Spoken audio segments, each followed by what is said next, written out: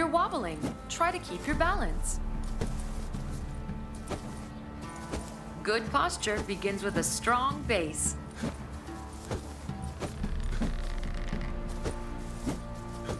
When exerting yourself, remember to keep breathing.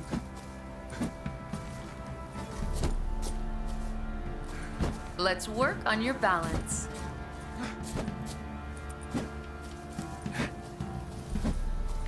Watch your posture.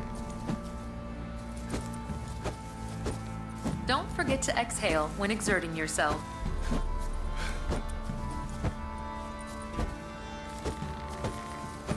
That's it. Feel the burn.